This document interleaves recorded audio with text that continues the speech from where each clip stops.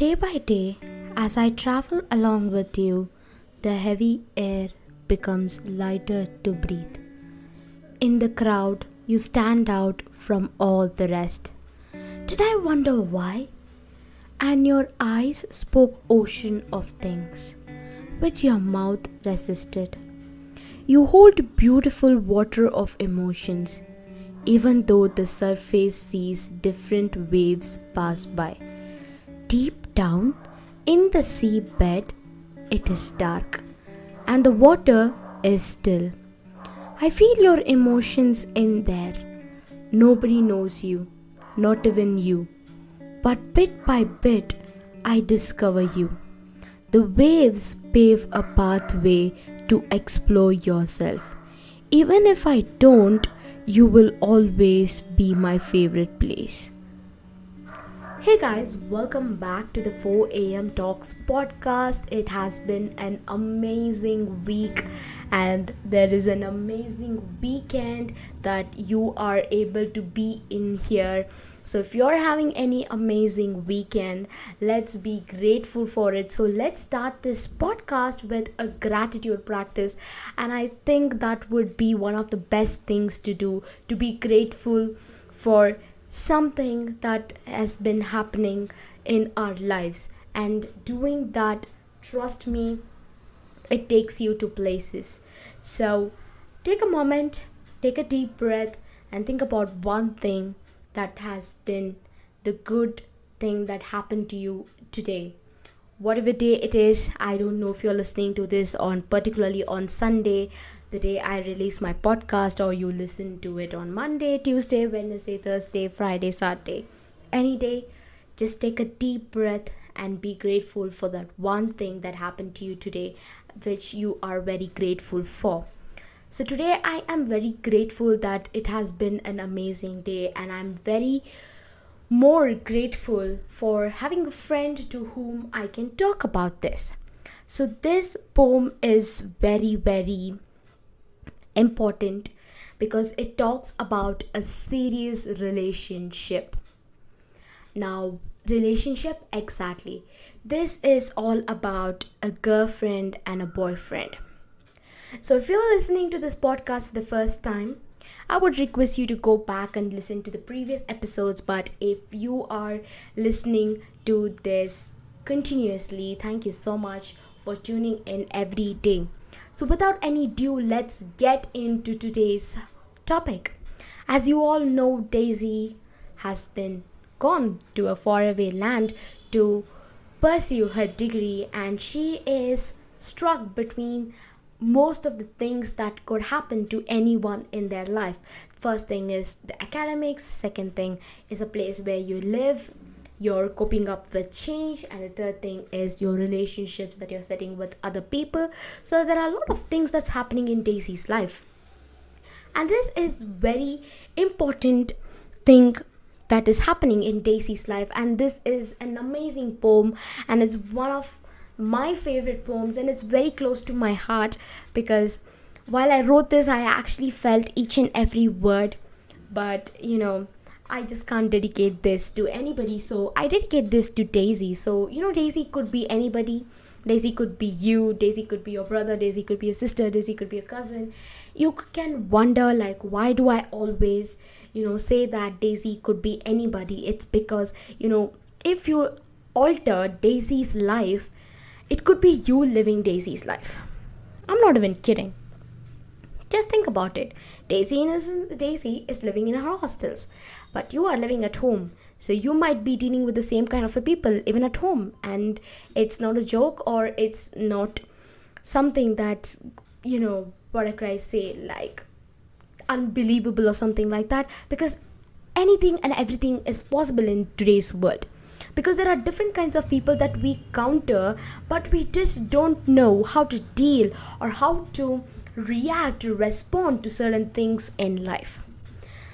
So daisy is in relationship with this one person who is you know not really with her in that place because this is like a kind of like far distance relationship. So most of your who are listening to my podcast if you are living in a long distance relationship, you could possibly understand how it feels. Even if you don't, I think it just takes a matter of a moment for us to put ourselves in those people's shoes to understand how it is really like to live in this kind of a situation. Right now, I am taking the side mostly of Daisy's. So I I am not talking about the person who is on the other side, the opposite to Daisy, and it could be the guy, the boyfriend. So we are not touching on his part, but I will touch on his part as well, but towards the end, because our protagonist is Daisy. So I would like to concentrate more on Daisy's life. Now you might wonder why am I being so much you know explaining things out to you. Like you might wonder why do you always like you know interpretate and tell that what you want to say? Like you can just go ahead and continue it as a story. But i feel that you will have to like do justice to whatever you're doing and to whomever you're dedicating it to. So i don't want to bring a misinterpretation in your life because i just now mentioned that daisy could be you. So that's the whole reason for me to bring this you know what's the one of the worst things that could possibly happen when you are in a relationship? So when you get onto a relationship you know more than a physical intimacy more than anything in a relationship the first thing that comes to play in a long distance relationship is the emotional damages that you carry along with so, when you travel along with a person for a very long time, so here Daisy knows her boyfriend for a very long time. She's been traveling along with that particular person for a very long time, but she knows him as her best friend. But she doesn't really recognize him as a boyfriend because there is a very big difference between being best friends and being a boyfriend because the boundaries are really set differently. Do you get that point? And now most of you would have like had this best friends as your boyfriends. Some of you would have got married and you probably would be having a lot of children. I'm so happy about it but not really everybody gets along with their best friend when they really transform into their boyfriends because they see a totally different person. When you are friends with somebody, the relationship is different. Do you think you can behave the way you behave with your best friend to your boyfriend? Of course not. Because there's a lot of difference, right? We set our boundaries in that particular way but there are a lot of things that is going to teach you or it's going to comfort you when you get to know that person. So day by day daisy is traveling along with her boyfriend in a long distance relationship. Initially she feels that you know whatever the changes that's happening in her hostel life she's able to cope up with it because the boyfriend is supporting her. That's the whole reason that the heavy air becomes lighter to breathe. So she finds that this person is really supporting her and is really helping her because she finds that everybody is just not trying to, you know, understand that she needs support. And she wonders, why? Why do I feel this? Why doesn't anybody else understand that their support isn't reaching me? Just imagine that you are in a very faraway land, okay? And you are wanting to talk to somebody, and that somebody isn't available to you they are unavailable because they are dealing with something else and we really cannot complain about it right now imagine that i live here and one of my best friend lives in Tamil Nadu. She lives in Salem, and if she needs any help, and she can just ping me. But I wouldn't actually know what exactly support does she need. So she feels, Daisy feels that, you know, his eyes spoke oceans of things which his mouth resisted. Now there is an irony here. The irony is she's realizing that this person is actually helping her helping her but at the same time she is sensing a distance you hold beautiful water of emotions. And now here is the irony. You know water you can never hold water because it just flows. Have you ever tried holding water? This is what we have heard this many times in our school. They would ask us when they teach us about solid liquid and gas they would be like can you really hold liquids? Definitely not. And imagine you have emotions that are like water even though the surface sees different waves pass by you know she's realizing that the waves there's the ocean and there's a wave Daisy feels that the ocean contains a lot of other emotions, but the waves, the mouth, and whatever the person is trying to say is totally different. Deep down in the seabed, it is dark. Yeah, this is the irony of life. When we feel that a person is so alive and they are trying to help you they are trying to do so many things when you realize the truth in a minute you would just feel so you just would want to snap at them and tell them how you feel bad about it and that's what is happening here and the water is still can you believe that ocean waters become still but here the water becomes still because she is seeing something else and that is very unbelievable to her. I feel your emotions in there. And now daisy is trying to sympathize with you and empathize with your emotions if you're in there. Nobody knows you not even you. But bit by bit i discover you the waves pave a pathway to explore yourself. She's finding that even that person needs help, just like her, because they are going through the same thing in a different wave, and there's a lot of differences in this relationship.